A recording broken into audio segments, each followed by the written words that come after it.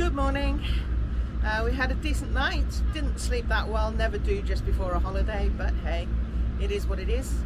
Nice breakfast this morning, and now we're going for a wander.